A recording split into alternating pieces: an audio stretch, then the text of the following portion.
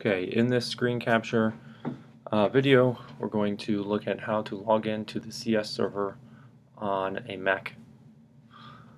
So you can start by going to your Finder, then Applications, and Utilities,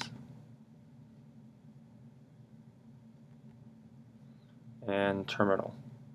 You want to double click through. Now I'm running a terminal and from here we can run commands. I will run SSH. You should put your username. This all has to be exactly correct. So your username will be CS. Um, I'm showing this with CS15139. If you're in some other course, um, you'll have a different username. And then this is connecting to the cs.indstate.edu server.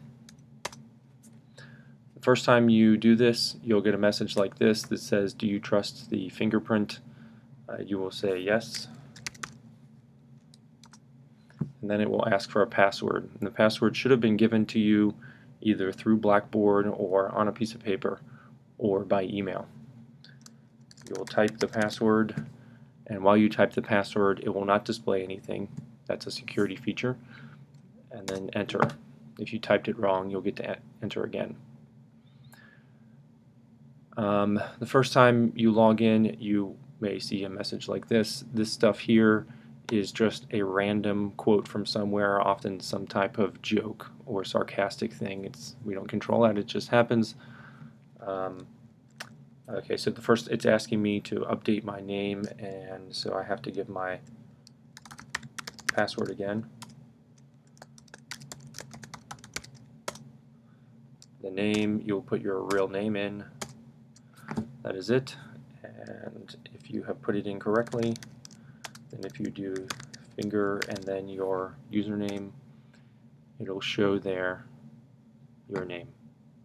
Okay so that's it. Logging in and then when you're done you type exit to close that. And then over on the side here you'll see the terminal is still there. If you want to come back and log in again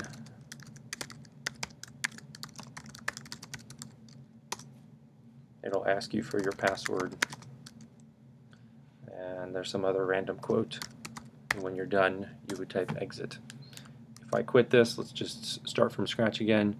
You go to let's close this. You go to Finder. Then Applications. Then Utilities. Terminal. SSH space your username at cs.indstate.edu, then your password.